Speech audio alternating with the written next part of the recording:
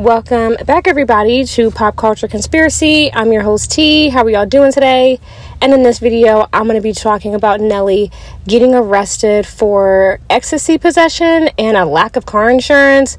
Before I happen, please like, share, and subscribe. Let's talk in the comments, and please turn on your notifications.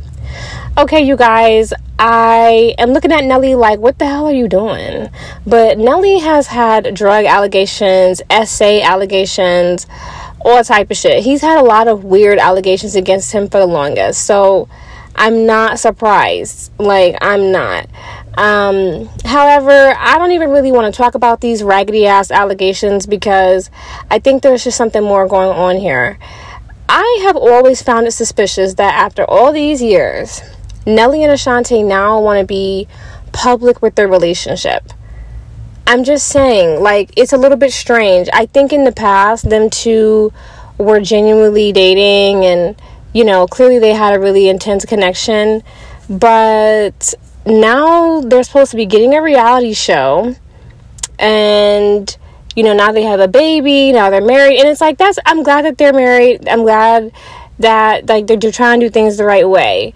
Um, I definitely am glad he didn't allow Ashanti to be a baby mama in her motherfucking forties. However, again, just going from such a private couple for years to now doing it for the gram and like being so outward and open, it makes me question things. I do think that part of this arrest is humiliation ritual. Again, they have a show coming and I know how a reality TV show is. I don't think it's a good idea for them to be doing reality TV. I don't think any couple that's really genuinely together and genuinely happy and trying to make it work for the long haul, I don't think they need to be doing reality TV. But that's why I think that there's more to this story because Ashanti has been outed for selling ass in Dubai. And they have pictures that look real sketchy. The way she was carrying herself on social media, yeah, of course. And I don't take pride in like saying that, but I keep telling you guys these people don't make that much money. They live check to check, gig to gig, show to show. Hence them doing a reality show. Cause why? They need the fucking money. Okay, like Ashanti's been performing big bellied and pregnant because she needs the money. She was selling ass in Dubai because even after all of the records sold, she needed the money.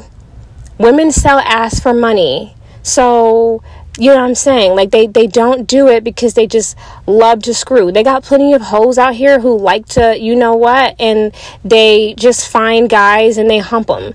But when they start doing it for a bag, okay, well it's all about the bag. She's not doing it for just pleasure. So I really do question the validity or the authenticity of them two getting back together. I really do.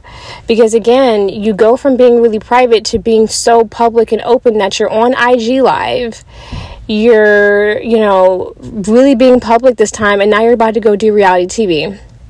That makes me think that there's some there's some motive behind this and that it's all about financial gain and industry gain. Again, you were with Nelly for years. You were with other dudes for years. Now all of a sudden like you're happy to be pregnant. I know how the industry works. And guys, one thing I don't want to slide by you guys, notice how we're living in a time loop. And that's what I really want to bring up here on some deep shit. J Lo and J Lo and what's his name? J Lo and Ben Affleck getting back together. Britney Spears coming back into the spotlight and Nelly and Ashanti getting back together. It's giving we're living in early 2000s all over again. I'm just saying. And it's just weird. Mind you, J Lo and Ben Affleck were at the all white parties hosted by Mark Rubin. You knew what go you, y'all know what goes down there. We've talked about it. It's it's a open secret what goes on at that party. They had kids there. Hmm. Sketchy. So, just things that I'm noticing. Um, again, it's it, this might be humiliation ritual, but I I don't know. Do I think Ashanti and Nelly will be together long? No. I don't. I think they broke up and had issues for many valid reasons. I think Ashanti moves a certain way, and I think Nelly moves a certain way. Again, Nelly has been on them drugs. Ashanti been not giving a fuck. so I'm just saying, like, I'm I'm I'm saying what I'm noticing. I'm calling I'm calling it like I see it. Like I really do wish them the best because now they've brought an innocent child in the mix. But again, I know how this industry runs off of children and I know sometimes people will have had success for years and the industry is like, "Oh wait, I know you owe me something." Because that's how the devil is. He always comes to collect. You don't just get to have success and never pay your tab. Now, I don't know of Ashanti having a history of family members dying. And so maybe this is how she's going to pay. I'm just noticing that. Don't let that shit slide by you guys. Like that happens. I've noticed that sometimes. Sometimes people will go years and they have success and everything's going good and then somebody will either randomly die after many years or they have a baby all of a sudden.